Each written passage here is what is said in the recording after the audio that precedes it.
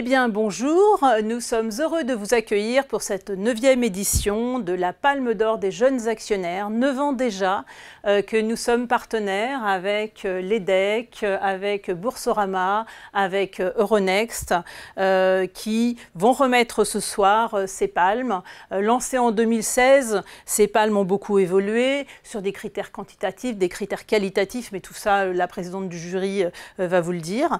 donc, je laisse à présent la parole fait pour un mot d'introduction à Benoît Grisoni, euh, qui est directeur général de Boursorama. Bonjour Benoît. Bonjour Véronique, merci beaucoup. Euh, bah, écoutez, moi je suis ravi toujours hein, d'introduire cette cérémonie parce que euh, bah, pour nous c'est très important. Alors j'en profite pour remercier évidemment tous les, organisateurs, hein. c'est beaucoup de travail, y compris de par le jury mais toutes les gens qui travaillent en coulisses pour faire de, bah, de, cette cérémonie un succès.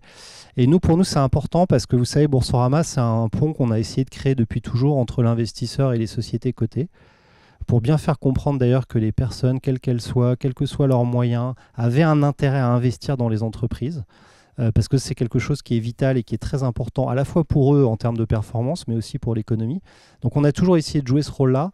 Et puis l'autre point important dans les palmes d'or des jeunes actionnaires, c'est le mot jeune. Voilà, et on aime les jeunes, même si on n'est plus jeune. Oui, parce qu'on est sur Ça, c'est un des drames de ma vie. Voilà, c'est que là, j'attaque quand même, euh, j'attaque la dernière ligne droite.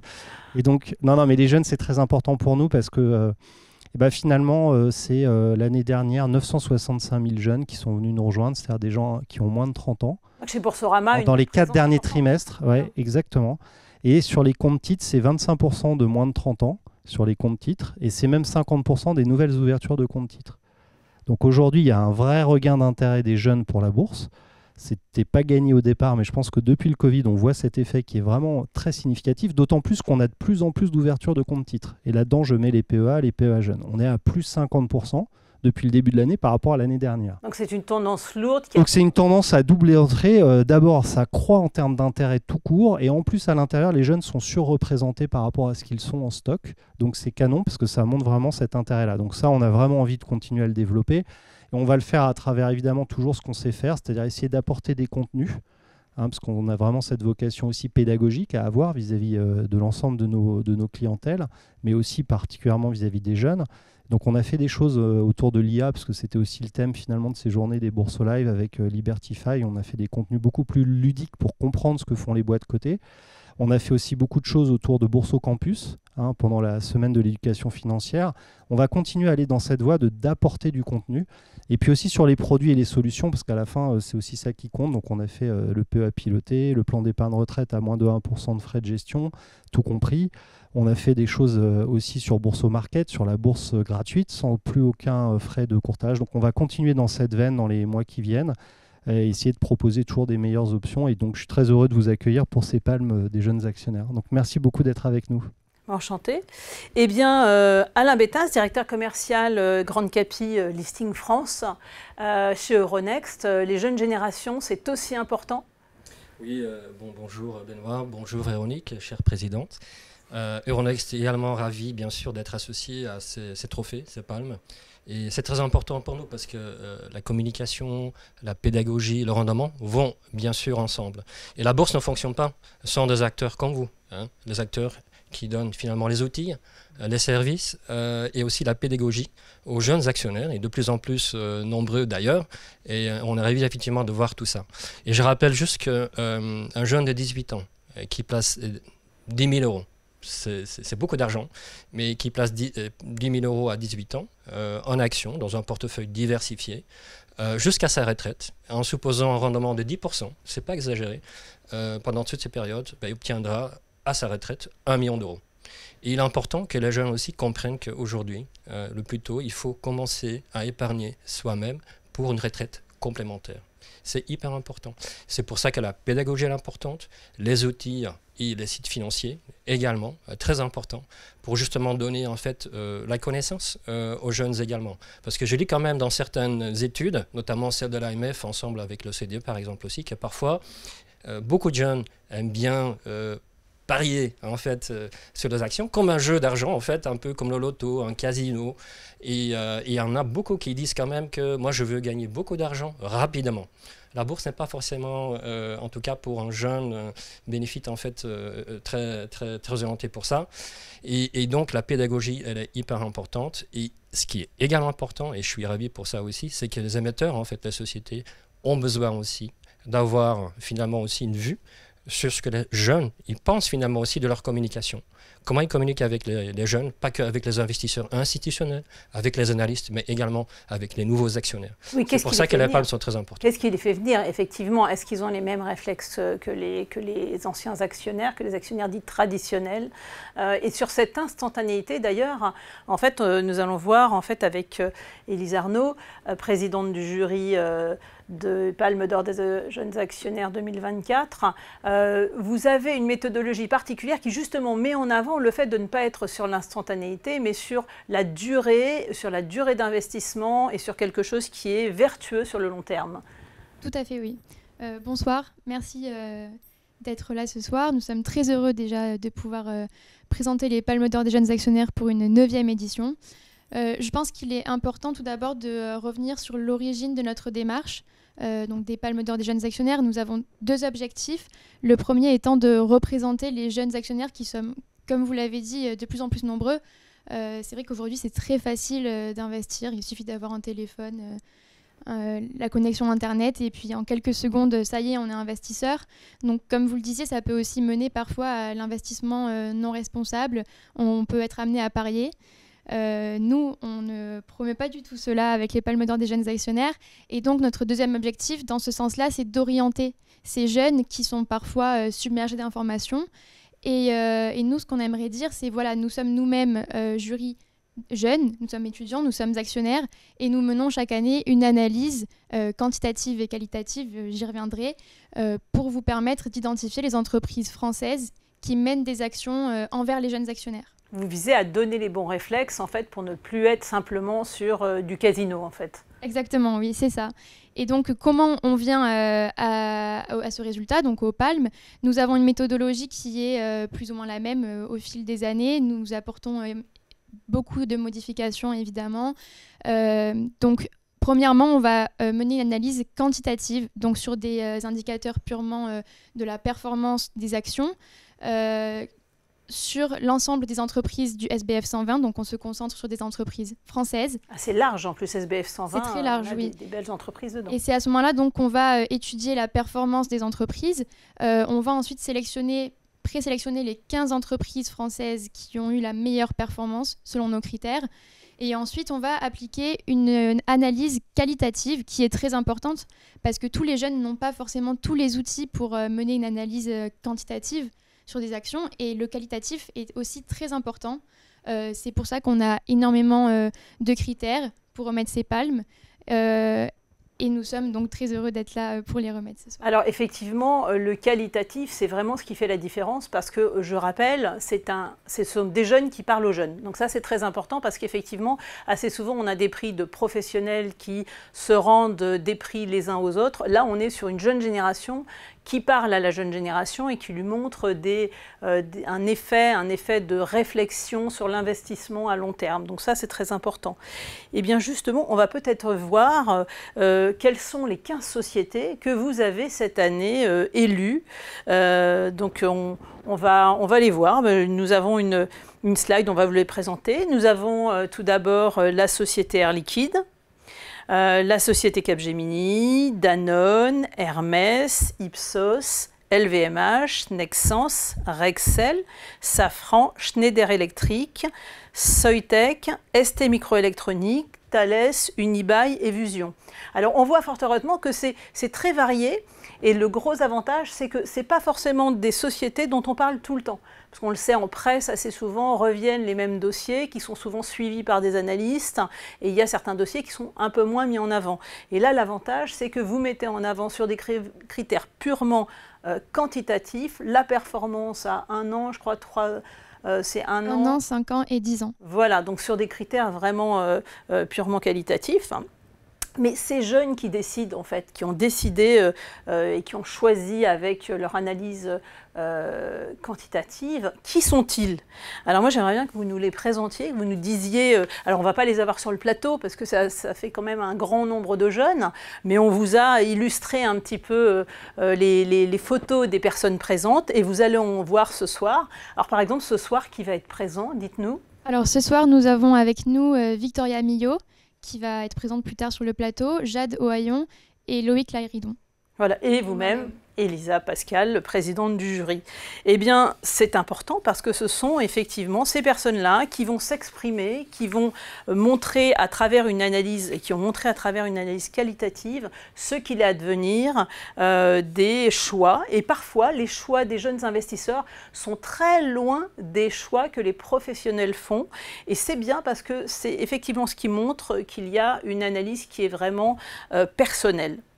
Donc nous allons maintenant, alors pour chaque palme, hein, euh, nous allons vous, citer la palme, donc euh, nous allons commencer par la palme de la performance. Alors la palme de la performance, euh, quelle est la palme de la performance en fait? Alors la palme de la performance, c'est la seule palme qui se base sur des critères donc uniquement quantitatifs. comme vous l'avez dit, on mène une analyse sur différentes périodes, sur un an, 5 ans et 10 ans. Euh, le but étant de ne pas pénaliser une entreprise qui a été introduite en bourse récemment et à l'inverse, de ne pas trop avantager une entreprise qui est présente euh, en bourse depuis des années. Donc nous, on va regarder plusieurs choses. Euh, en tant que jeune actionnaire, on va regarder évidemment le rendement, de l'action ainsi que le versement des dividendes, parce que ce que veut un jeune actionnaire, c'est tout de même de la performance. Nous, on recherche de la performance, mais pas la performance exceptionnelle euh, et que l'on ne peut pas expliquer, mais plutôt une performance qui est assez stable dans le temps. Régularité, vous cherchez la, régularité, c'est ce qui paye effectivement. C'est ça. Euh, nous sommes jeunes, nous sommes jeunes actionnaires, donc nous n'avons pas forcément un grand capital à investir et surtout, euh, nous ne pouvons pas nous permettre de trop risquer en devenant actionnaire d'une société. Euh, c'est pour cela que l'analyse quantitative prend énormément en compte le risque. On va analyser la volatilité du titre, on va analyser son comportement dans des périodes d'incertitude, dans des périodes de crise. Qu'on a connues récemment. nous sommes jeunes, vous en avez connu plus que nous, mais vous savez que c'est dans ces moments-là qu'on voit aussi la eh stabilité dans le titre. c'est pas ce que je voulais dire. non, mais effectivement, c'est très important de souligner ça parce que quand on, investit sur du moyen long terme, on n'est pas sur des pics, euh, des accidents qui peuvent arriver à une société qui font qu'elle grimpe tout d'un coup ou elle s'effondre après. On est vraiment sur de la performance régulière. Et c'est pour ça qu'il est important aussi d'intégrer, vous avez intégré, les dividendes, par exemple. C'est ça. Et on utilise euh, différents ratios qui sont connus euh, des personnes qui travaillent dans le milieu financier et on pose un critère euh, qui est éliminatoire et c'est le risque. Donc on va, je ne peux pas dévoiler tous les secrets de notre analyse, mais on a un critère qui est éliminatoire si l'entreprise présente un trop gros risque, du moins l'action de l'entreprise. c'est de cette manière-là, du coup, qu'on va élire la palme de la performance qui est, euh, selon nos critères, l'entreprise euh, présentant la meilleure performance. Alors celui qui a la réponse, hein, Loïc, qui est le gagnant euh, de la palme de la performance Alors cette année, le gagnant de, la palme de la performance a su vraiment se distinguer par des, résultats financiers très élevés et par une remarquable résilience dans un environnement économique souvent incertain. donc l'entreprise a su euh, vraiment euh, atteindre en fait, ces, objectifs euh, financiers, générant ainsi une, grande valeur ajoutée pour les, actionnaires. Et sans plus trop m'attarder, je vais donc maintenant dévoiler le, nom de cette fameuse entreprise. Donc il s'agit cette année, la palme de la performance est remise à Vision Group. Voilà, bravo Vision Group. Alors euh, malheureusement, Vision Group, euh, Olivier Gernandt, responsable des relations investisseurs, est actuellement euh, indisponible. Il est à Londres, mais il nous a fait parvenir sa réaction que vous allez entendre. Bonsoir à tous, je suis Olivier Gernandt, le responsable des relations investisseurs du groupe Vision. tout d'abord, je vous prie de bien vouloir m'excuser de ne pas être parmi vous ce soir. Malheureusement, un, un roadshow investisseur à Londres m'empêche d'être parmi vous. Cela dit, je reçois évidemment avec beaucoup d'humilité euh, ce prix. Euh, je vous en remercie. Euh, je voudrais évidemment remercier les, les, organisateurs, notamment la place des investisseurs, et l'EDEC Business School pour la neuvième édition de ces palmes des jeunes actionnaires. elle, évidemment, nous motive ici chez Vision et je, je m'adresse au nom de toutes les équipes pour continuer sur notre trajectoire de croissance forte et d'amélioration de notre rentabilité. Et le groupe Vision va continuer à transformer et à préparer le monde du commerce physique de demain euh, par l'ensemble de nos solutions digitales, qu'elles soient dans l'Internet des objets, dans l'intelligence artificielle, dans le traitement des données et le cloud. Voilà, donc nous, nous, sommes, euh, nous sommes très heureux d'accueillir de, ce prix. Nous vous en remercions vivement. Et euh, comme vous le savez, nous avons récemment signé une, une, très belle commande, la plus grande de notre histoire, plus d'un milliard, euh, avec euh, Walmart aux États-Unis. Et donc ce n'est que le, le début d'une belle aventure de croissance qui va, qui va s'accélérer dans les années qui viennent. Sur une note un peu plus personnelle, je voulais m'adresser aux, aux, étudiants pour leur dire que euh, même si la bourse n'est pas toujours un, un, long fleuve tranquille et que parfois on peut, on, peut, on peut avoir des difficultés, et vous le savez, en ce qui nous concerne, ça a été le cas l'année dernière, euh, je crois que la bourse est vraiment un, un, élément euh, de notre vie, un élément qui est tout à fait passionnant euh, et qui est au cœur de notre économie. Et en suivant toutes ces histoires, ça fait une trentaine d'années que je m'intéresse à la bourse, vous allez vivre avec passion les évolutions de notre économie. Euh, donc je ne peux que vous encourager à, à continuer à vous intéresser euh, à la bourse. Voilà, je vous souhaite à tous une très très bonne soirée et à bientôt. Et maintenant, nous allons nous intéresser à, la palme de la pédagogie. Alors Loïc, qu'est-ce que la palme de la pédagogie? Comment vous avez fait votre choix? En effet, alors voilà, qu'est-ce que la palme de la pédagogie? En fait, la palme de la pédagogie, c'est un prix qui va récompenser une euh, entreprise pour son engagement vraiment exceptionnel envers les, jeunes actionnaires. Euh, c'est donc voilà, une récompense qui comprend plusieurs critères essentiels. Euh, et à partir de ces critères-là, en fait, on va pouvoir mesurer euh, les, efforts vraiment que l'entreprise fournit afin de guider le jeune actionnaire, afin de communiquer clairement. Donc parmi ces, euh, ces critères, vous allez retrouver par exemple la rubrique actionnaire individuel. Nous allons regarder s'il existe voilà, un onglet investisseur, s'il existe un guide pour les actionnaires qui est bien fait, qui est lisible. Ensuite, nous allons regarder si l'entreprise cherche à rencontrer ces, investisseurs, si voilà, elle organise des rencontres, si elle est présente à des forums, à des salons. Euh, nous allons aussi regarder, euh, par exemple, s'il existe un numéro de téléphone facilement accessible. Et en fait, à partir de tous ces éléments-là, euh, en fait, on va pouvoir vraiment mesurer les, efforts que l'entreprise a fournis pour en fait établir une, relation de confiance avec les jeunes actionnaires et euh, avoir vraiment une communication euh, transparente. Ce que vous dites est important parce que ça veut dire que vous, jeune actionnaire, vous mettez aussi le contact humain euh, devant dans les critères importants. C'est sûr, par parfois on peut être... Pas que Internet. Non, non, non, non, non, je pense que voilà, avoir un numéro de téléphone accessible si jamais on a des soucis ou quoi, et euh, l'entreprise gagnante, dans, dans ce cas-là, a vraiment surperformé sur, sur ces critères-là.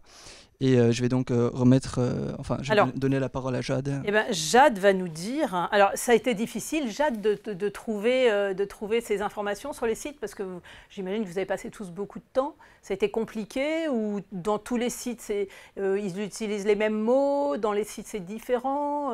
Est-ce que ça a été très compliqué pour vous, la sélection? Alors bonjour, euh, bonjour à tous. Alors effectivement la sélection n'était pas euh, facile en fonction des sites internet et etc de chaque entreprise. Nous avons passé beaucoup de temps à rechercher sur chaque entreprise, mais c'est vrai que donc l'entreprise gagnante c'était celle qui avait les informations les plus faciles d'accès et euh, les plus claires pour nous les jeunes actionnaires qui n'avons pas forcément toutes les connaissances et compétences techniques liées à la finance. Donc, euh, nous allons maintenant remettre euh, le prix donc, euh, à l'entreprise. Qui est l'entreprise gagnante alors Alors, l'entreprise qui a gagné la palme de la pédagogie est donc Safran. Félicitations à eux. Voilà que nous allons accueillir. Donc, nous allons accueillir Bonjour. Marine Binet de Safran. Venez. Voilà. Peut-être qu'Elisa, vous allez venir avec moi. Voilà. Alors Marine Binet, en fait, qui est responsable actionnaire individuel et communication financière de Safran. Donc bonjour. Bonjour. Ça vous fait quoi de recevoir ce prix de jeune génération? Alors c'est une grande satisfaction, euh, c'est la récompense d'un travail d'équipe, donc euh, merci aux étudiants de l'EDEC pour cette très belle récompense. Pour Safran, les actionnaires individuels sont vraiment très importants, c'est historique chez nous et euh, c'est aussi la récompense d'un travail continu que nous voulons en tout cas en amélioration chaque année. Cette année, par exemple, nous avons revu complètement notre guide de l'actionnaire pour y intégrer des fiches pédagogiques pour rendre l'actionnariat accessible à tous. On s'est basé sur les questions qu'on reçoit souvent. Euh, du contact récurrent avec les actionnaires. Du contact, voilà. Des lexiques. Des, Par ce fameux numéro de téléphone qui a été cité tout à l'heure également. Ah. Ou par email, ou lors des rencontres. Euh, nous sommes régulièrement présents sur le salon Investir Day qui a lieu en fin d'année euh, tous les ans. Nous organisons des réunions d'actionnaires. Nous allons à la rencontre de nos actionnaires à Paris, en région. Nous, veillons à, à, ce que toute la France soit aussi en contact avec Safran. Donc euh, voilà, c'est une très grande fierté. Merci beaucoup pour cette récompense. Euh, euh, je vous félicite parce qu'effectivement, les jeunes actionnaires, il est très important que les jeunes actionnaires soient effectivement présents parce que, rappelons-le, les, jeunes actionnaires vont prendre en fait le pas sur la génération actuelle d'actionnaires que, que j'invite régulièrement à partager ses portefeuilles, à enseigner, à, à, jouer ce rôle d'ambassadeur. Je les appelle régulièrement on, les voit régulièrement au niveau des réunions d'actionnaires organisées par Place des investisseurs. On les appelle à, être les vrais ambassadeurs du produit action, mais ça, ce n'est possible que si des sociétés comme la vôtre euh, communiquent des éléments, euh, communiquent des informations et facilitent l'accès à l'information. Parce qu'on le voit, visiblement, l'accès à l'information sur les sites Internet, ce n'est pas évident. Pas toujours, et puis euh, nous tâchons de nous diversifier également en communiquant davantage sur les réseaux sociaux la, communication financière n'est pas toujours très présente sur les réseaux sociaux. Donc l'objectif, c'est de se digitaliser, digitaliser nos supports. Voilà, aujourd'hui, on, s'adresse à toutes les générations en papier, en digital. Sur les réseaux sociaux, vous parlez de la même façon euh, à tous les actionnaires ou on est obligé sur les réseaux sociaux de parler un peu plus jeunes, euh, d'avoir des Il faut toujours polisser sa parole sur les réseaux sociaux. non, c'est le, le, discours est de manière générale assez corporate malgré tout, mais c'est d'autres relais d'information. Voilà. Et, de la pédagogie, j'imagine. Tout à fait. voilà. nous, promouvons bah, tous nos supports, en fait. Euh, dès qu'un nouveau support sort, euh, voilà, j'étais très fière de, pouvoir communiquer sur cette nouvelle version du guide actionnaire. Bah, très bien. Qui est disponible sur notre site internet, évidemment. Et qui est votre site internet? Euh. Voilà. Eh bien, merci beaucoup. Merci Marie. Merci à vous. Merci. Et nous allons parler actuellement de la palme de la communication, parce qu'effectivement, il y a de la communication, c'est toujours quelque chose d'important. Donc, pour parler de, la palme de la communication, eh bien, euh, euh, Victoria va, va, nous rejoindre du jury. Euh, alors, la palme de la communication, voilà. Quelle est quelle est cette palme? C'est quoi la communication? Euh, vous, avez jugé quoi? Vous avez jugé les, sociétés qui faisaient des très belles, des très beaux affichages, des très beaux documents. vous avez jugé la qualité du document? Alors la palme de la communication, elle récompense donc les entreprises euh, qui euh, disposent euh, d'outils de communication efficaces, pertinents et principalement tournés vers les jeunes. Donc nous étudions si leur communication financière économique, mais également leur communication propre à l'entreprise sont assez claires sur leur site internet et sur leurs réseaux sociaux. Car en effet, la communication est très importante, notamment chez la jeune génération, puisque nous apprenons beaucoup à travers internet et les réseaux sociaux. et c'est pourquoi donc les entreprises qui développent leur communication euh, digitale ont un réel avantage pour euh, atteindre les jeunes comme nous, euh, pour qu'on puisse investir. Donc en ce qui concerne, pour élire la palme de la communication, nous avons principalement étudié, donc, comme je disais auparavant, leur site internet ainsi que les réseaux sociaux. Euh, en effet, donc euh, toutes les entreprises euh, qui ont leur information qui est assez transparente sur leurs réseaux sociaux, leur site internet, ça apporte une certaine confiance pour les investisseurs et principalement pour nous les jeunes investisseurs. Transparence alors. Exactement, hein. la transparence de l'information. Et donc c'est pourquoi aujourd'hui nous récompensons donc les entreprises qui ont mis en place des dispositifs pour que l'information soit simple d'accès, soit facile et claire pour les jeunes qui n'ont pas forcément toutes les compétences techniques financières. Donc un accompagnement peut, être avec du vocabulaire, Exactement. avec des termes simples. Exactement. On, l'oublie souvent, mais ce qui fait peur aux gens, ce sont souvent le fait d'avoir des termes très compliqués. Euh, on a l'impression que c'est tellement compliqué qu'on ne va pas comprendre. Exactement. Et en l'occurrence, ça, ça, arrête beaucoup de monde. Donc c'est très important ce que vous dites, parce que la communication, c'est la base pour faire comprendre à tout le monde qu'investir est simple. Investir est simple et il suffit parfois de beaucoup de recherches des sociétés pour s'exprimer simplement. Exactement. Donc nous avons étudié euh, plusieurs euh, critères et plus principalement donc sur leur euh, site internet, nous avons étudié s'ils possédaient donc un onglet actionnaire qui était assez simple de compréhension pour, pour tout le monde, mais aussi si leur communication financière et économique était assez claire sur leur site internet. Mais nous avons également étudié les réseaux sociaux, donc que ce soit Instagram, Facebook, LinkedIn, etc., pour voir leur nombre d'abonnés sur toutes ces plateformes, également s'ils possèdent une certification, donc qui atteste que les plateformes plateformes de réseaux sociaux euh, valident le profil de l'entreprise, mais aussi euh, la fréquence de postes par jour, par mois ou par semaine euh, de chaque entreprise. Donc toutes ces informations nous ont permis d'établir une notation et qui nous permet aujourd'hui de remettre la palme de la communication. Donc je laisse la parole à Victoria pour remettre la Bonjour Véronique, qui bonjour. Qui est le gagnant? Voilà, qui est le regagnant de la palme de la communication? Alors merci, merci Jade pour cette explication cruciale sur l'importance de la communication. Euh, aujourd'hui, à l'heure où euh, l'information circule très vite, il est primordial pour les entreprises de, euh, communiquer de façon claire sur l'actionnariat afin que ce soit accessible à tous. Et donc, après une analyse, nous avons l'honneur de, desservir cette palme à Danone, Danone, très bien. Eh bien, euh, nous félicitons Danone qui ce soir malheureusement n'a pas pu être présent, euh, mais on peut effectivement euh, montrer le prix. donc, bah, félicitations à Danone pour tous ces efforts de communication qui sont vraiment très très importants.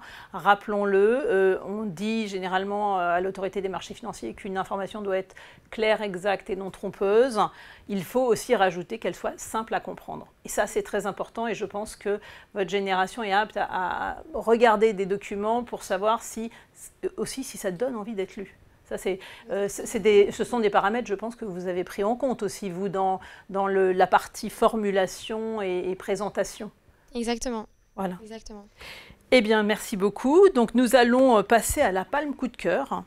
Donc la palme coup de cœur des étudiants, parce que alors cette palme est une palme euh, assez spéciale, donc vous allez m'expliquer, parce que coup de cœur, on se dit, ça y est, ils sont tombés en, amour avec, euh, avec une société, euh, euh, elle les a séduits, et on va voir qu'il y a des raisons. Parce que, en fait, voilà, vous avez. Alors, c'est quoi la palme coup de cœur? Alors, effectivement, Véronique, vous avez raison. La palme coup de cœur, elle a une importance particulière. pourquoi? Parce que c'est l'avis direct de nos jeunes actionnaires eux-mêmes. Donc, à l'issue d'un sondage qui a été fait donc, sur les réseaux sociaux euh, comme LinkedIn ou Instagram.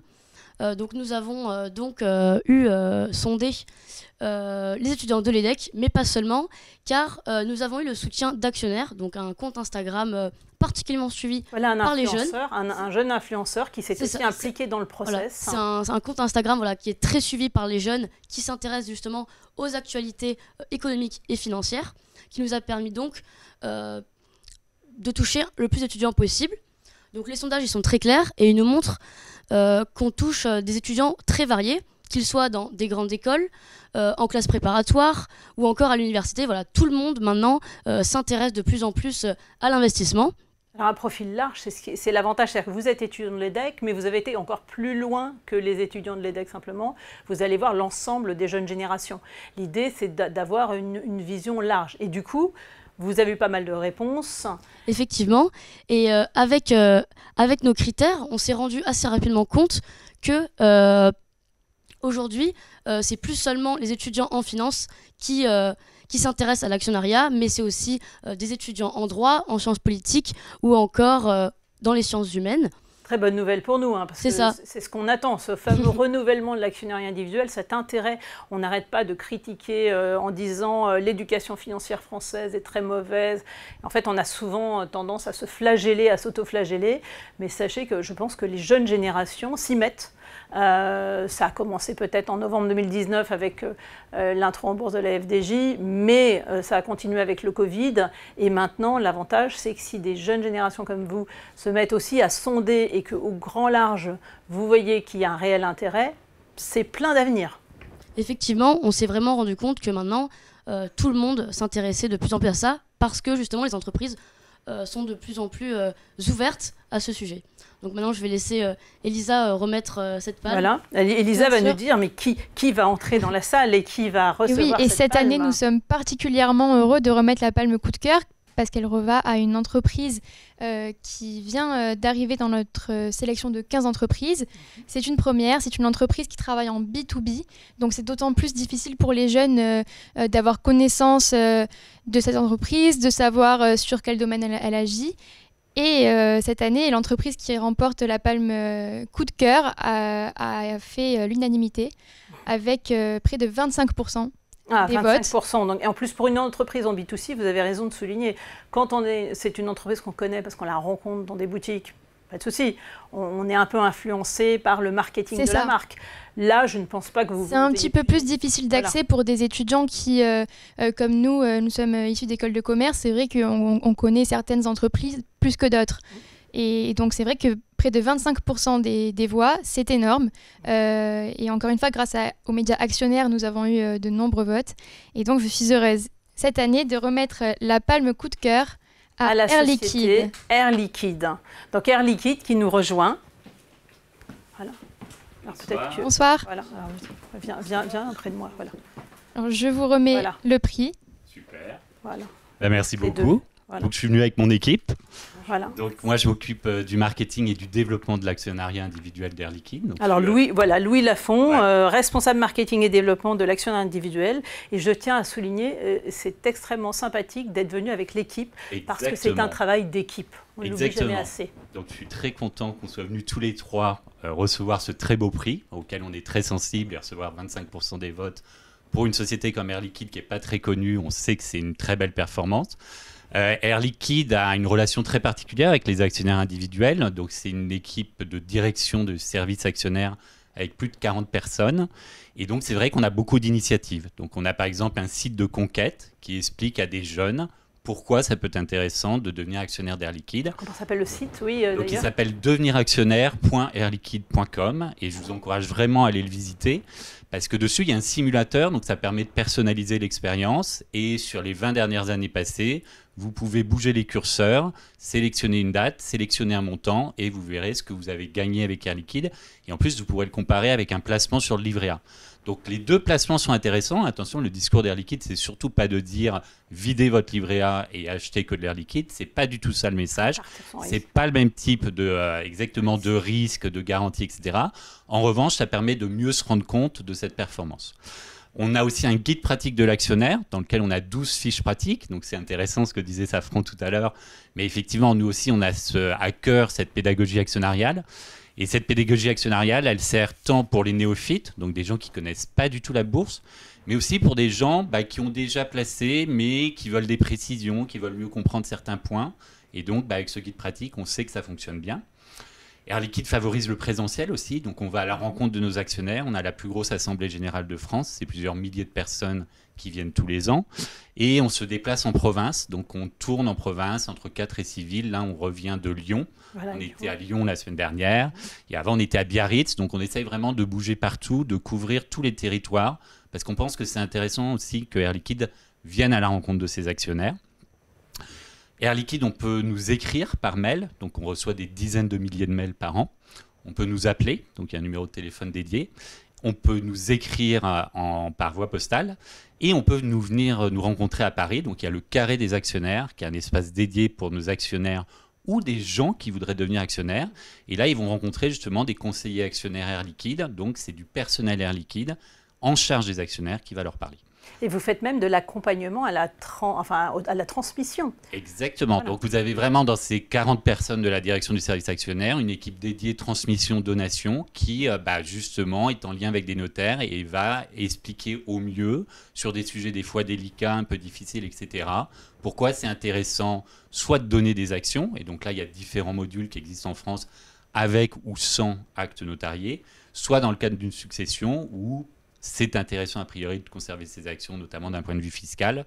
Et donc là, c'est euh, Air Liquide ne prendra jamais la place du notaire, mais ça permet d'avoir cette expertise à l'intérieur d'Air Liquide. on s'occupe aussi des mineurs, alors pas oublier, parce que chez Air Liquide, on a vraiment des actionnaires qui ont un jour, c'est-à-dire il y a des gens dont les parents ou les parrains marraines leur achètent une action, on a des gens qui ont plus de 100 ans, donc on a vraiment, on couvre toute la population française avec plus de 800 000 actionnaires. Et euh, donc pour ces mineurs, en fait, on a des BD dédiés. donc pareil, on démystifie la bourse Et on démystifie aussi ce que fait Air Liquide, hein, parce qu'on est du B2B, donc c'est plus compliqué de comprendre ce que fait Air Liquide. Donc on a vraiment cet attachement de long terme et cette proximité, bah, semble-t-il, elle est reconnue.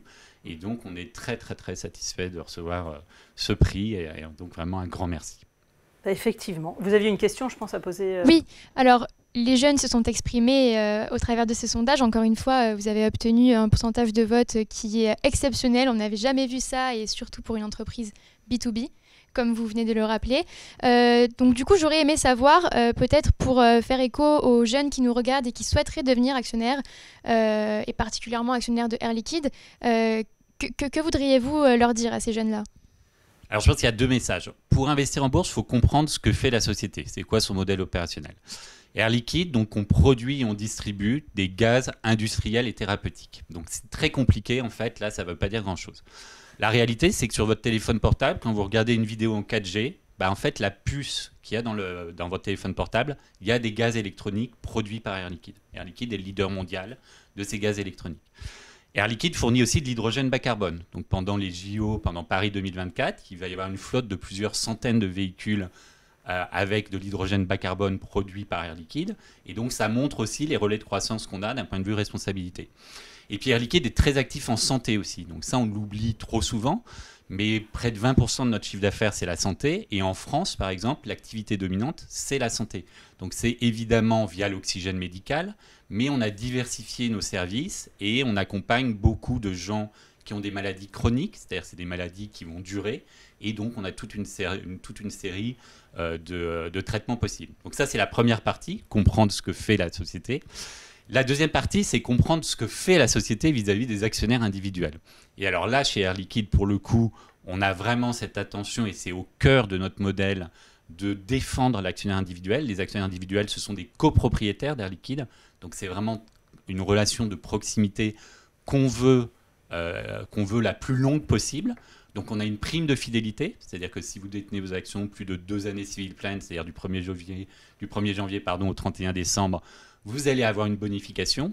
Et puis on distribue aussi régulièrement des actions gratuites. On vient d'en faire une distribution là en juin dernier.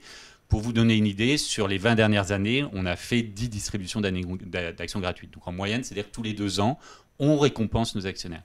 Donc vous voyez que tout ce travail auprès des actionnaires bah, se traduit pour le coup par un taux de rendement actuariel. Alors c'est un peu compliqué, mais en gros c'est l'étoffement de votre portefeuille sans remettre de sous dedans. Donc c'est ça qui est important. Vous ne remettez pas de sous, vous réinvestissez juste aux dividendes. Et donc le fait de réinvestir ces dividendes, de toucher la prime de fidélité, et pour ça il faut être nominatif, et de distribuer des actions gratuites, ben, vous êtes au-delà de 10% par an.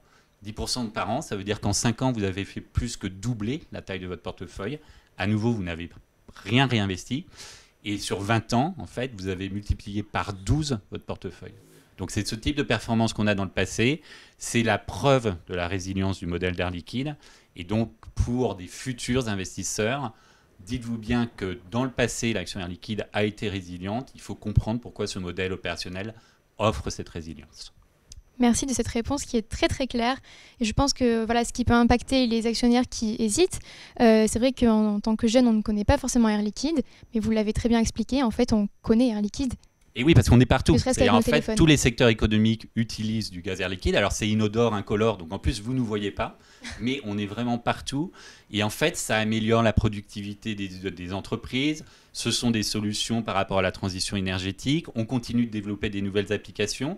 Donc c'est de la chimie. On produit euh, des centaines, voire des milliers de références de gaz avec des mix de gaz, etc.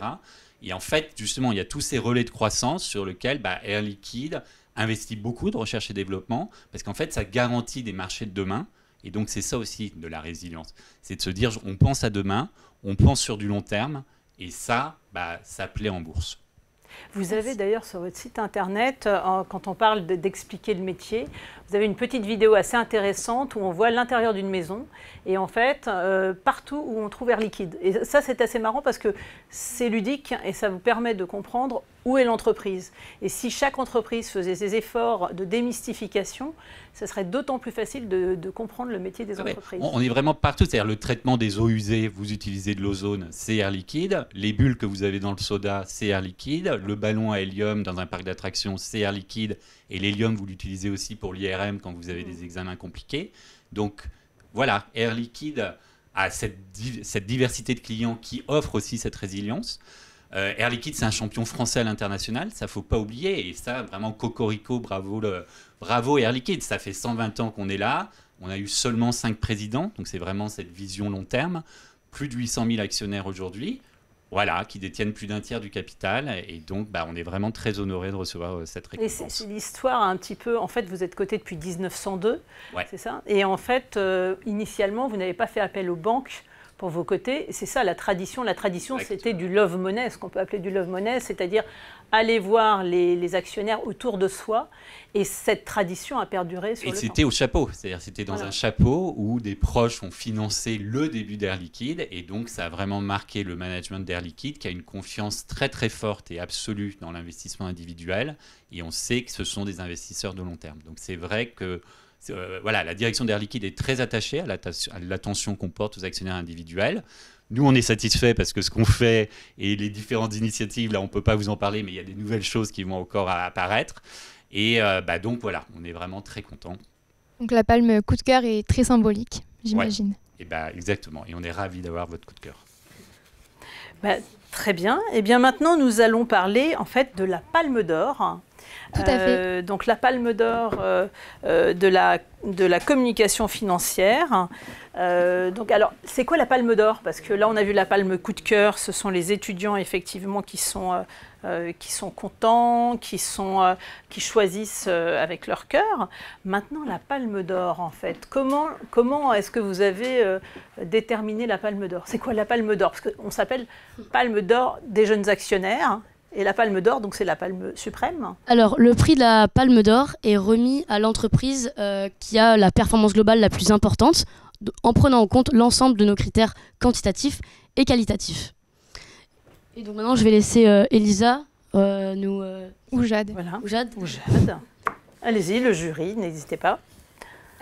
donc aujourd'hui, nous remettons donc la Palme d'Or euh, à l'entreprise, donc LVMH. LVMH. Félicitations à eux. Alors, LVMH ne pouvait pas être là. Charlotte de Murat nous a euh, dit qu'elle ne pouvait pas être là, mais vous allez avoir en fait un, film de Rodolphe Ozon, qui est directeur de la communication financière de LVMH, euh, qui commande ce prix. Donc nous allons l'entendre. Bien, bonjour à tous, Rodolphe Ozon, je suis le directeur de la communication financière. Alors j'espère que vous excuserez le, le caractère euh, un petit peu amateur de cette euh, vidéo. On n'a pas pu se libérer, mais je voulais quand même euh, vous adresser quelques mots pour vous remercier de ce prix, qui nous fait particulièrement plaisir, puisque d'abord sur les dernières années, on a vu les actionnaires individuels plutôt monter au capital, donc ça signale un, un intérêt du grand public pour le groupe LVMH, qui est évidemment très agréable. Et au sein de ces actionnaires individuels, euh, également l'intérêt en particulier d'un certain nombre d'actionnaires jeunes. Donc c'est ce que c'est ce que récompense votre votre prix euh, ce soir. Et effectivement, c'est une c'est une tendance qu'on a observée aussi nous de, de notre côté. Donc ça aussi c'est très c'est très encourageant. J'en profite au passage pour faire un petit peu la publicité de notre club des actionnaires. Euh, dont je ne vais pas décrire euh, tous les avantages, mais qui a un certain nombre de, de caractéristiques sympathiques et qui a l'avantage d'être euh, accessible à partir d'une action. Donc si vous êtes actionnaire LVMH, n'hésitez pas à vous rendre sur Internet pour le découvrir. D'ici là, je vous souhaite à tous une excellente soirée et je vous remercie encore chaleureusement pour ce prix. Merci beaucoup. Merci beaucoup à LVMH, merci au jury d'étudiants. Merci à vous. Euh, nous sommes très heureux d'avoir euh, donc finalisé cette palme, euh, ces palmes des jeunes actionnaires. en fait, je voulais savoir si vous aviez peut-être quelques mots à dire sur ces palmes. Est-ce que quel a été votre sentiment on, on, en ressort comment après avoir fait tout ce travail pour les palmes? Je pense qu'on est tous très fiers d'être ici ce soir. Et euh, voilà, je voulais préciser que donc, le jury euh, qui n'est pas au complet ce soir est très complémentaire dans le sens où nous sommes euh, certains étudiants en master, d'autres en bachelor. Donc nous n'avons pas du tout les mêmes expériences, pas toujours les mêmes centres d'intérêt, pas les mêmes professeurs à l'EDEC. mais c'est ce qui nous permet d'être très complémentaires et de chaque année apporter de nouveaux critères, de nouveaux points de vue. Et je pense que cette édition des Palmes, qui est donc la neuvième édition déjà, a été très particulière parce que nous sommes très complémentaires. Nous avons su vraiment euh, améliorer euh, les palmes depuis l'année dernière. Faire évoluer, voilà, en fait, il, faut que ça évolue, c'est jeune, il faut que ça évolue. Et, comme vous l'avez dit au début de la cérémonie, cela se remarque de par la diversité des entreprises qui ont été présélectionnées, donc des 15 entreprises qui ont été nommées pour les, les palmes d'or. Euh, et, nous remercions euh, également Monsieur Daniel Aguet, qui est notre professeur de finance à l'EDEC, qui a euh, supervisé ce projet. Sans lui, tout cela ne serait pas possible. Et oui, il faut, il faut toujours un professeur pour, pour, aider, pour accompagner. Oui, parce que nous restons étudiants. Donc nous voulons parler à des jeunes, mais c'est vrai qu'en tant que jeunes nous-mêmes, nous avons besoin d'être supervisés. Et c'est comme cela que nous pouvons nous adresser à notre tour aux prochains jeunes qui souhaiteront devenir actionnaires. Et c'est comme ça que nous pouvons remettre les palmes chaque année comment vous motiveriez les, futurs membres du jury dans votre école qui, se décideraient? Qu'est-ce que vous leur donneriez comme clé en leur disant, euh, euh, euh, viens nous rejoindre au jury des Palmes Pourquoi? Eh bien, c'est vrai que nous sommes à la recherche de la prochaine promotion de jury des Palmes d'Or des jeunes actionnaires. Donc merci d'en parler. Euh, je, vous laisserai après vous exprimer. Euh, personnellement, ça fait deux ans que je suis sur ce projet et c'est vrai que c'est quelque chose qui est euh, très riche. surtout quand on est étudiant, on n'a pas toujours eu de première expérience professionnelle, on n'a pas toujours eu notre premier stage.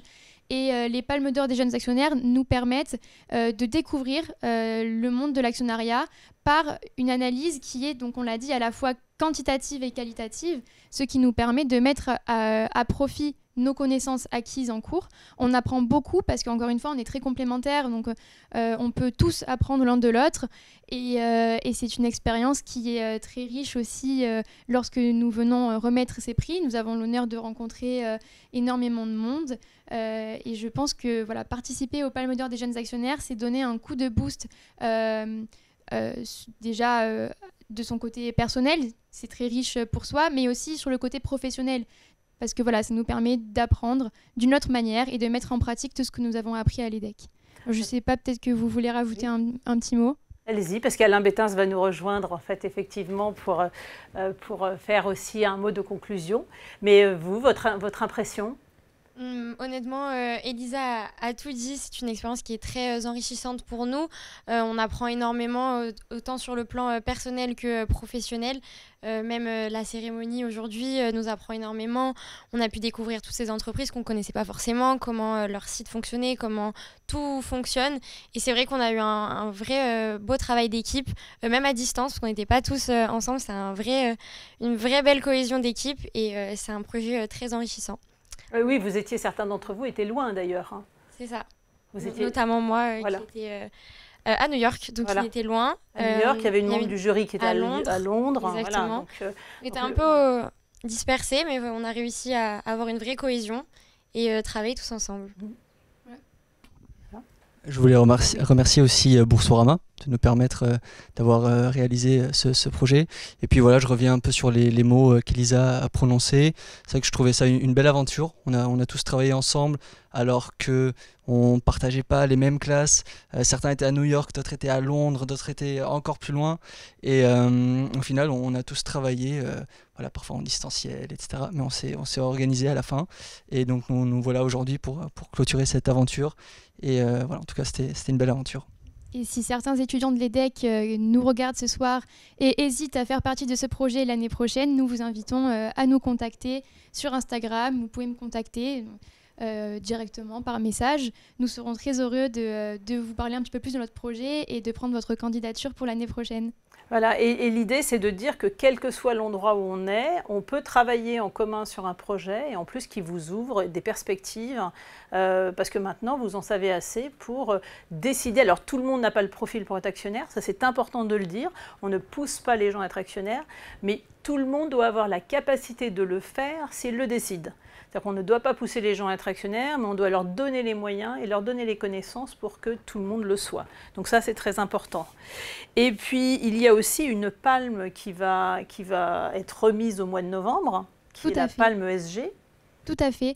Donc nous travaillons aussi sur euh, cette thématique qui est de plus en plus importante euh, pour les jeunes. C'est vrai que euh, les jeunes sont de plus en plus impactés par tout ce qui touche à la responsabilité sociale, environnementale et gouvernementale. Mhm. Et chaque année, c'est très important pour nous de pouvoir parler aux jeunes de ce sujet-là en remettant une palme à l'entreprise qui, pour nous, est la plus performante en termes de SG. L'ESG, c'est un, une chose importante hein, pour les, jeunes générations comme vous, parce que assez souvent, on oppose en fait le, le, fait que les jeunes sont euh, à l'écoute de, de, tous les critères socio-environnementaux, que les actionnaires traditionnels moins. Alors vous, vous ça représente quoi l'ESG un petit peu dans, dans votre pensée euh, au niveau de l'investissement? Est-ce que vous avez tous conscience que via vos investissements, euh, vous pouvez avoir un impact, en fait, euh, vos, investissements ont un impact sur la planète et sur le monde de demain. Écoutez, je pense qu'on s'en rend de plus en plus compte euh, chaque année. alors déjà, à l'EDEC, on a la chance d'avoir un enseignement qui est souvent axé sur l'ESG, donc on peut acquérir des connaissances sur ce sujet-là. Et c'est vrai qu'on le voit tous les jours. c'est vrai que cette année, il n'a pas fait très beau à Paris. Je pense que c'est peut-être euh, un petit peu lié euh, au dérèglement climatique. Donc voilà, ça nous pousse à euh, prendre conscience, déjà dans un premier temps, de l'importance de l'ESG. Et je pense qu'il est essentiel pour les jeunes actionnaires et pour les actionnaires tout court. qui ne sont pas forcément jeunes, de prendre conscience que nous avons le pouvoir déjà d'avoir une épargne qui est responsable et de faire évoluer les choses. C'est très important à mon sens. Euh, effectivement, euh, c'est très important et, l'impact de, vos investissements, euh, il faut en être conscient. Il faut en être conscient et il faut en être pleinement conscient et prendre, prendre sa part en fait, dans, le financement aussi de la transition euh, pour arriver au monde de demain. Tout à fait. Euh, bah, je vous rappelle que vous pouvez trouver de toute façon euh, cette vidéo, vous la retrouverez sur le site de Boursorama. Vous retrouverez et c'est effectivement cette vidéo aussi sur le site de Place des investisseurs sur placedésinvestisseurs.org. Vous pouvez d'ailleurs sur notre site toujours vous inscrire, recevoir des informations, des documentations. On édite un magazine, un magazine Place des investisseurs qui est effectivement un magazine alors, on a changé de logo puisque vous nous connaissiez avant sous la Fédération des investisseurs individuels et des clubs d'investissement. Nous sommes maintenant euh, une, une place des investisseurs pour accompagner l'ensemble des investisseurs sur toutes les catégories d'investissement. Donc ça, c'est important.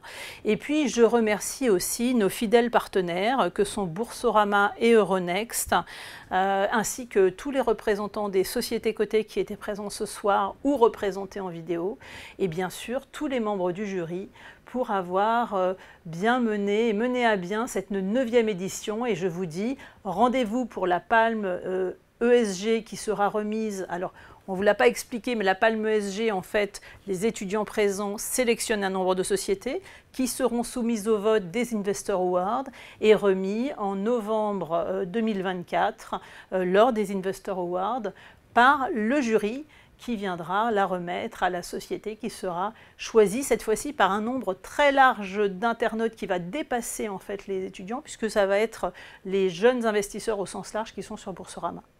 Donc je vous remercie tous et je vous invite à nous retrouver sur place des investisseurs.org.